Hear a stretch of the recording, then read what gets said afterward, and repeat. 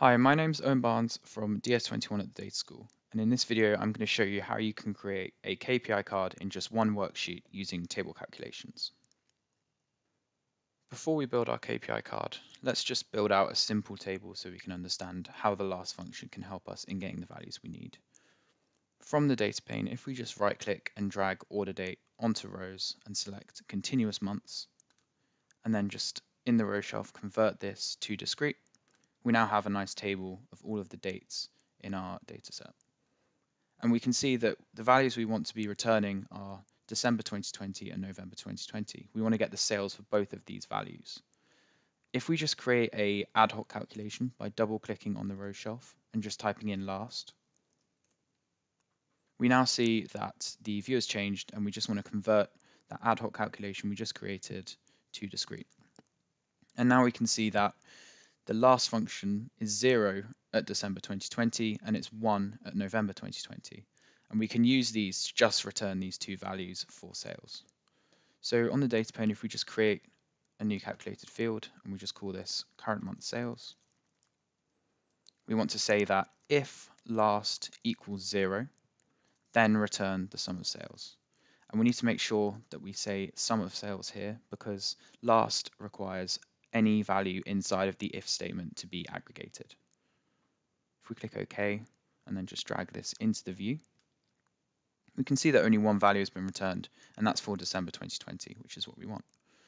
We also want to do the same, but for returning November 2020. So let's just create another calculated field, and let's call this previous month sales. And we want to, similarly to before, say if last equals 1 this time, not 0, then return the sum of sales. End. And now if we click OK and show this, we can now see that we have the two values we want. But we need to just quickly make sure that we are locking in this calculation in the correct way. So on our measure values card, if we just click on the drop down and we edit the table calculation, we can see it's being calculated right now downwards.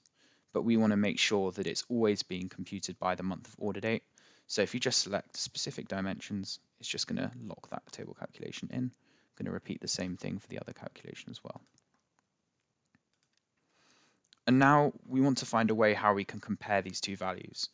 If we want to return the percent difference from the previous, we need to take the December value and we need to subtract the November value. And then we want to divide that by the November value. That's going to give us our percent increase or decrease from previous.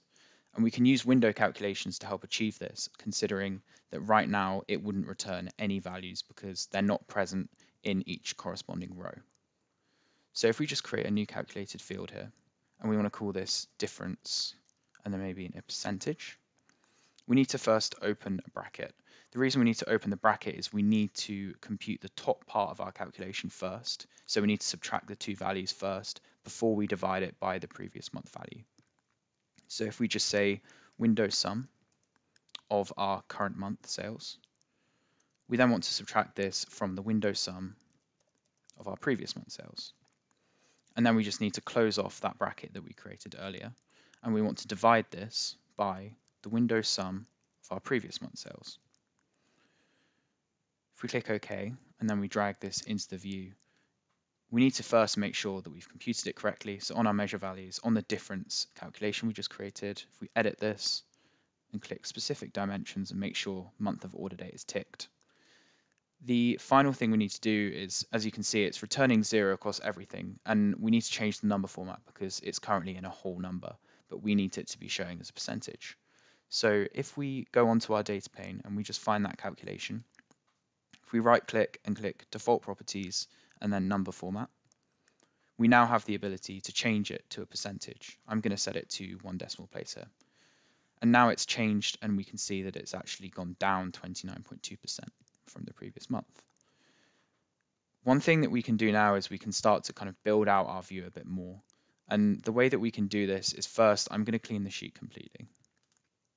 And the first thing that I want to do is I'm going to right click order date and I'm going to drag this onto the columns and I'm going to select continuous months here. I'm then going to bring sales into the rows. And now we have our line chart showing our sales over time. And now we need to bring all of the table calculations that we would like into our view. So we want to have the current month sales, the difference, and the previous month sales. So I'm just going to drag these onto detail.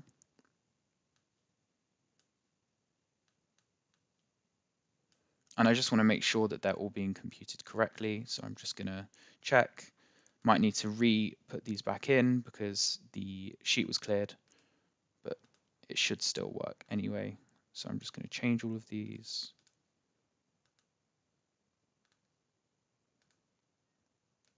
And we're now ready to edit the title and get these values in. So the first thing that we want to do is we want to see the current month sales. And if I just click apply, the value for the current month, which was 83,829 is showing up. And now I might want to look at the percentage difference. So if I click insert and I look at the difference, I click apply, we can now see that that minus 29.2 is showing, which is what we want. And then we might want to say versus prior month and then insert our previous month sales. And if we click OK now, we can see that we have the foundation of our KPI card. We can now do maybe a bit of formatting. So if I just right click on the view and click format, and on the left hand side here, if I just go to the right hand icon, which is just lines, and then I just turn on my grid lines and then turn them back off, all of the grid lines have now been removed. The next few things I can do is I can just remove the headers from the axis. So if I right click on the sales and untick show header, and the same for the x-axis, we now have that simple KPI, KPI card that we are desiring, but we might need to do a little bit more formatting. For example, we might want to add a up or down arrow here just to make it a bit more visually easy to understand.